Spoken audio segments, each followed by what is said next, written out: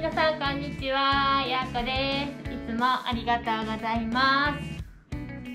今日はちょっとご紹介したいものがありまして急遽回しております。じゃん。これ。実はこちらの2点なんですけどもいつもメインチャンネルも含めサブチャンネルも含め いろいろなコンテンツで応援してくださっている視聴者さんからプレゼントとしていただきちゃいました。でちょっとあの匿名でっていうことだったので今回名前の方は言わないんですけども本当にありがとうございます。大事に使わせていただきたいと思います。ちょっとね 私もまだ未知の世界なんですよこれ。これがジンバルっていうやつなんですけど DJI-OM5 って最近出たばっかりのなんか素晴らしい iPhone ねここに。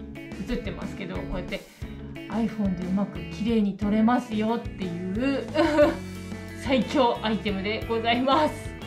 でこちらは風の音とか外で撮るときに風の音とかボーとかって音入るんですけどその時にこういわゆるあのー、テレビとかでこうもふもふとかつけると風の音が入んなくなったりとかあと声の音質を上げたりするようなマイクです。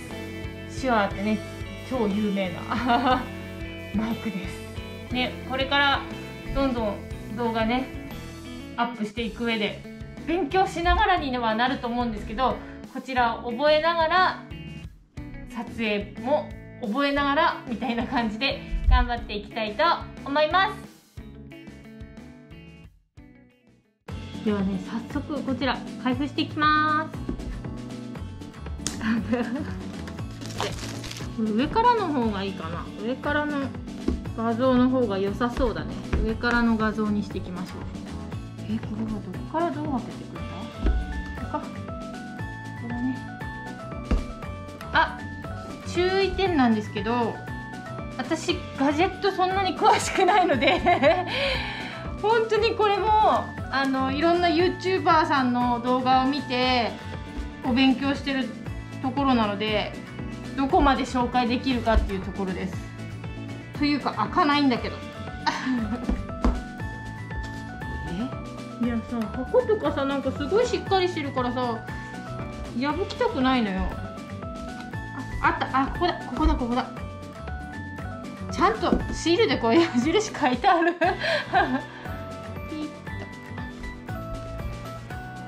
いしょ。こうやった方がいいかなじゃんじゃんじゃん。見せたいけど自分も見たいえまだ見てない。これね説明書がまず入っていますここにいろいろ書いてあって説明書があって入んなくなっちゃった。じゃじゃん。わあなんかすごいすごいぬるぬる動いてる。すごい。あすごい。なんかバネが開くようにね。ピュンって開く。えー、ここがこうくるくるも。おおえー、大丈夫？私これ使いこなせる？大丈夫かしら？心配なんだけど超大丈夫かな？まあボタンとかいろいろあって。これ充電ですね。充電が必要なんでしょうねとりあえず開けてみましょう。こういうのがついてます。多分 iPhone にパチッとするやつだよね。iPhone にこう。こういうふうな感じで。あ説明書を見なさい。ってねあーできたできた。こんな感じで取り付けてここにカチャッと。おーすごい強力。こうやればもう撮影ができますよっていう感じなんでしょうねすごっなんかいろいろできるみたいなのであとちょっとやっていきたいと思いますね。これは何でしょう。あこれの中にはこちら。これグしまうやつですね。すごいコンパクトなのでこれを取ってしまえば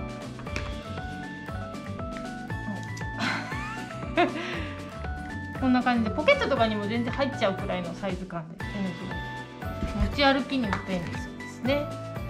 であこれこれ次がこれついてて三脚ですねこうで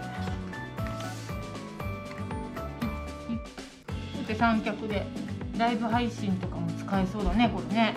まずは充電してみましょう。いろいろやってみたんですけどやってみたっていうかいろいろ見てたんですけどどうやら電源が入ってなかったみたいです。なので電源入れますでこっちのアプリの方も取って設定もちゃんとしました。ではね電源入れてみます。あら？しまった。ここだ。ながりました。ではい。ではちょっといろいろいじってみたんですけど何からどう伝えていいのか。まずこれ三脚がね今別でついてるのでつけました。なのでこういう風にできるんです。けど今電源入ってないので電源を入れます。うお。こっちが正面だからね。こうね。iPhone のアプリで開いてる状態です。今インカメと外カメ切り替えますねこうお見せすればいいのかな。こんな感じで今撮影されてるんですけどここのこれかこれをなんか2回押すとじゃん横になってくれるっていうね。私今自分の顔が見えてないからあれなんだけどちょっとねあの GoPro のモニターで確認しながらやってるんですけどこんな感じになるんですよねこれが。すごいのが何がすごいって見てくださいこれ。ちょっと一回切るか。これこっち動かしてもこれカメラ動いてないの分かります？なんかまるで浮いてるみたいな。すっごいと。思って何これみたいな。そんな感じでした。驚いております。もう本当にこんなものがあったのねみたいな。でなおかつちょっと今トラッキングできるようにするんですけど私をトラッキングしてくれればいいんですけどどうだ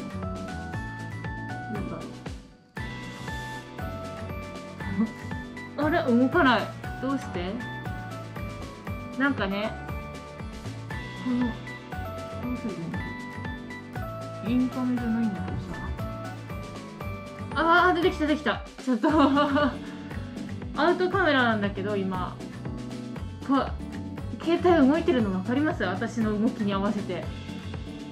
顔を追ってくれてるんですよ。すごー。楽しいこれ。なんかね。ねえ。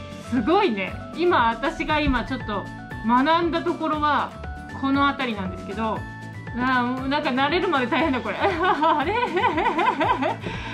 慣れるまで大変だね。どうしよう。これインカメにすればいいのか？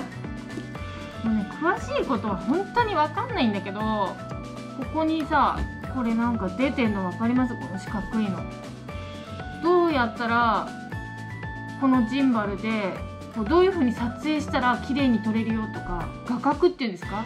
足元撮りたいとかなんかそういうのも選べるみたいなんですよね。選べるって教えてくれるみたいなんですよこれ、うん、ほらほらほらほら。例えばビーチだったらビーチでこういう風に撮るといいよとかっていう撮り方のとか教えてくれるみたいでこれすごいよね。恋人目線でとか いろいろあるんですよこれ。なのでこれを参考に動画の撮り方を覚えていくこともできるっていうなんとまあ優れもので。すごいいっぱいあって。ほらすごいでしょ。いやこれはすごい。本当やばい。も う本当使いこなせんのかな。